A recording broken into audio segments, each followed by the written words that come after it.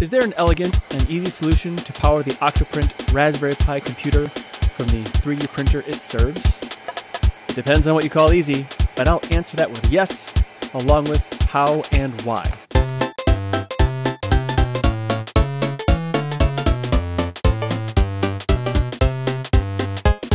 The longer I have my Ender 3, the less it resembles the original um, form it was when I purchased it.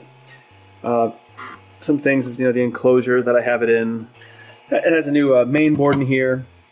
Then power supply has been relocated to outside the enclosure, and then I have this Octopi, uh, where this is on Octoprint, Raspberry Pi that runs Octoprint. So I guess this is called Octopi. I call it Octopi because, well, I don't know what else to label it. But it runs off of its own power supply. And one of the problems with this is when I go to shut it down, when I'm not using it, I have to be able to turn the power off on this as well because you can't turn it on without cycling the power coming into it. So the, the solution that I am going to implement here is to have the Pi draw power from the power supply from the Ender 3. Now the problem there is it is a 24 volt power supply and this requires, well this will only take 5 volts. So I can't put 24 volts into a 5 volt thing and expect uh, it to run in perpetuity. So I've put together some things. You know, it's part of the OctoPi enclosure here that I that I put together. It came with a box to convert the voltage from 14 down to 5. And that's what I'm going to do here.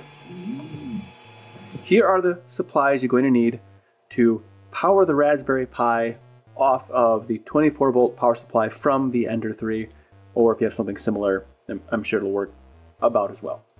First, a splitter, which makes sense. This is an XT60H splitter. To connect into this, we're going to need an XT60HF connector. Then this right here is an LM2596 DC to DC buck converter. So this only trims the electricity, the voltage, I should say, downward. Gonna need some uh, some wire. I'm I have 16 gauge here. You can probably use 18 gauge just as well. I don't see why not. You're not pulling that much power. Solder. You're also going to need some sort of sacrificial cable here to go from that buck converter into the USB, micro USB of the Pi, or if you're using a Pi 4, it would be USB-C, but some sort of a cable that you can use to uh, snip off one end and uh, wire into the little converter. And some sort of shrink tubing or electrical tape. I like the shrink tubing because it, the outcome is pretty nice. So that's something you'll need as well. To actually assemble all these goodies, you're gonna need a wire stripper of some kind. I have this uh, really nice uh, fancy one to stick the whatever size is in there. Give it a little squeeze and it's done. So works real well. You need a soldering iron, a heat gun like this or something similar. It's just to concentrate the heat to cause the shrink tubing to shrink. You can use a, a light or two. You don't have to do anything real fancy. A multimeter with preferably some sort of an alligator clip end on it. There's different ways you can go about doing that. And a small flathead screwdriver. Then you'll also need some alligator clip leads to go to your power supply somehow. This is what I have. Uh, it'd be better if they, these were shielded, so they weren't just, you know, out and exposed like that. But I'll be careful, I promise.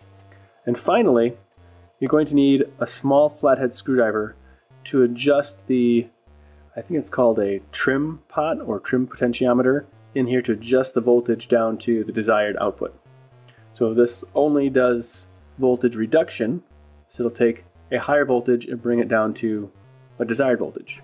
So now, we'll go ahead and get started assembling it. All right, well first I'm going to make sure this is adjusted correctly for the voltage that I need. That is kind of the important first step here.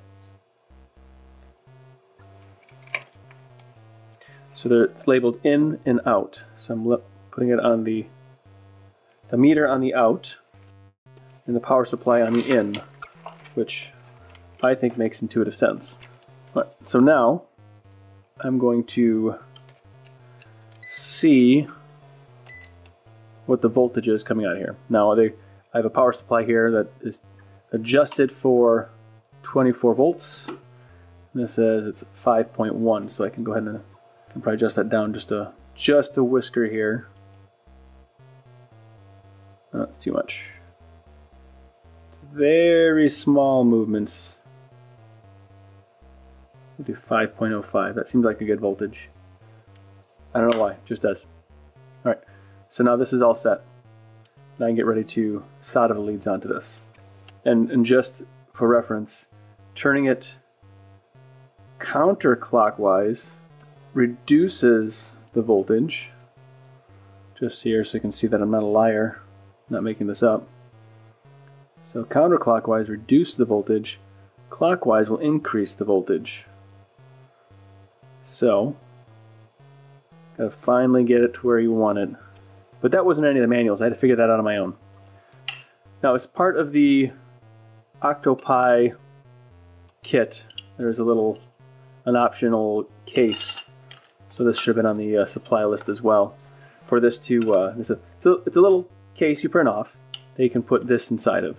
So that's what I'm going to do. Just kind of do like a little quick test fit here. So this is the power coming in. So I'm going to imagine this over here. Then that lines up nicely there. And the wires will come into this large hole. And then the USB will come out of the small hole. That seems to make good sense. Alright, so I'm going to take a small length of this. I don't know how much I really need, but I'd rather have just a little bit extra so I can move it where I want it, rather than make a an extension cable or something of that nature. Or modify it.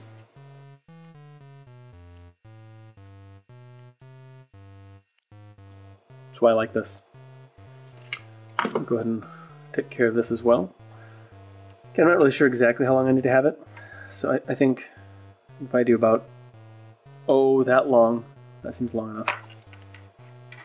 I did test this cable ahead of time, make sure it actually outputs the proper voltage.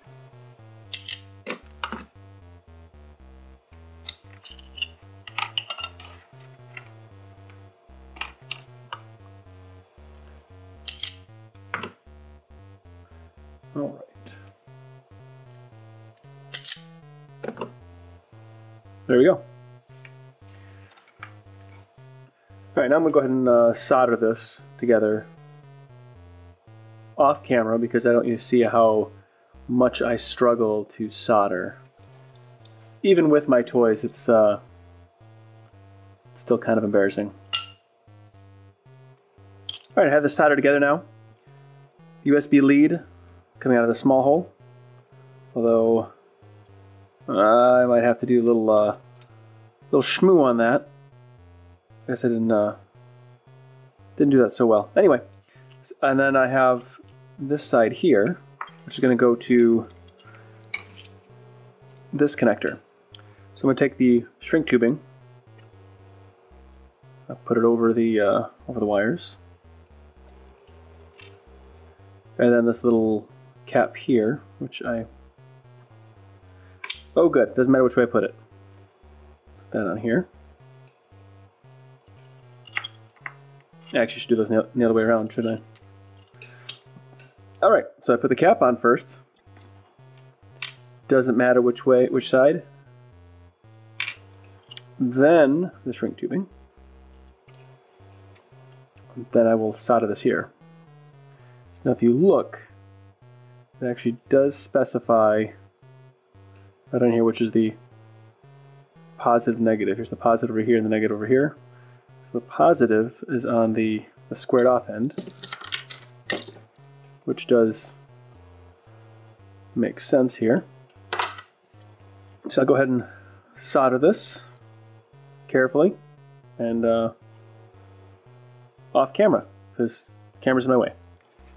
Okay, so here we have this soldered on. Now we're Might be a little bit long, actually, but that's all right. I don't mind it being a little bit long. We'll go ahead and put the shrink tubing on here. This is why I think uh, a heat gun will probably serve you best. I'm to turn down the heat on this a little bit. Alright, so now I'm going to go ahead and shrink this on here.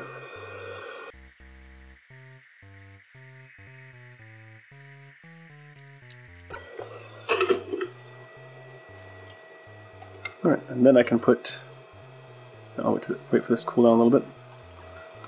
And there we have it. Looks pretty nice. Alright, so now, before I do anything too crazy, I want to see that this actually is outputting the correct voltage. And I'm not exactly sure how this is going to work exactly. First time doing it. So that has come alive. I have this little doodad here. I'll plug this in here and hopefully I see 5.05 volts. Now it's fluctuating a little bit. But that is, that's exactly what I want. Yeah, so in retrospect, I'm not going to desolder this thing because I just don't feel like it, but, well actually, I do have an idea now. So I don't expect this thing to be under much stress ever, but you know, there is that chance that I could do something silly. So what I'm going to do here is I'm going to put a little zip tie on the inside of this.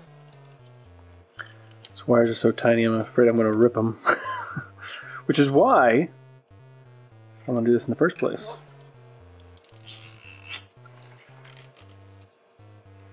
So the purpose of this is just to keep this from getting yanked on. I'm going to grab it right onto the wire there.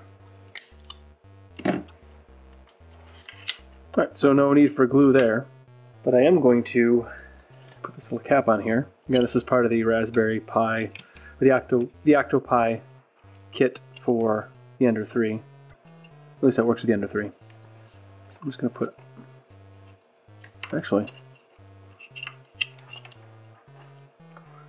never mind, totally unnecessary. Alright, well, never mind on the hot glue. Fits quite nice together. I'm going to go ahead and shut down the, the OctoPi and put this in place and see how it goes. Alright, so now I'm going to disconnect the, the, the Pi is underneath here. Not in a very convenient location for uh, for filming, I'll go ahead and disconnect the power supply from the Pi, I'm going to take this little guy here, route him through.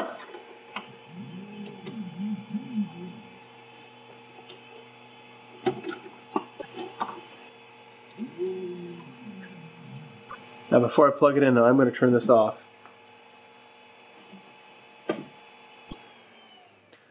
The switch, the, the power supply is now on the outside of this enclosure. So go ahead and plug this into the Y here.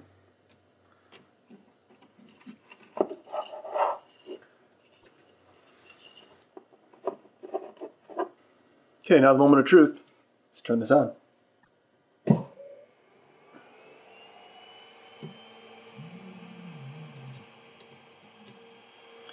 Raspberry Pi does have power, I can see the lights on. All right, well, good news. Looks like it's working.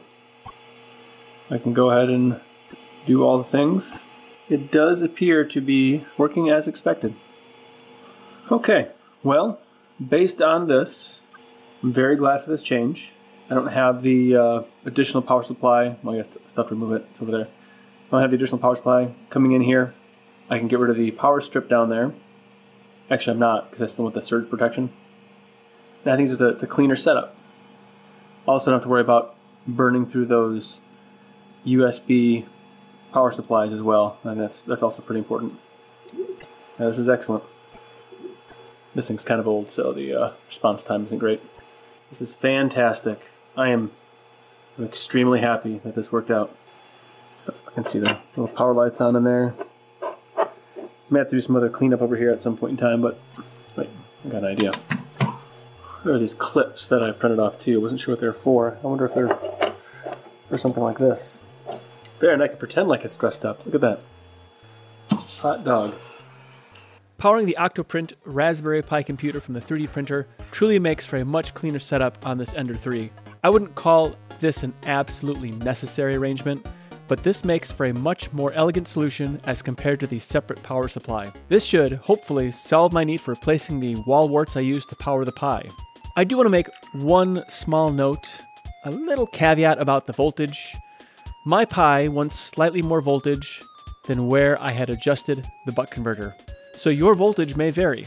You know, some people trick out their cars, pickup trucks, or even their computers with fancy RGB lights.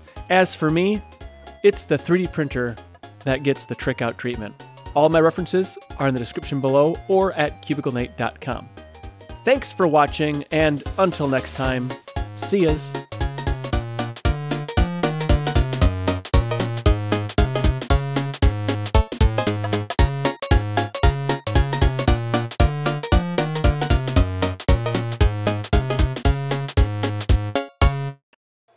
You know what? I forgot to specify one more thing here.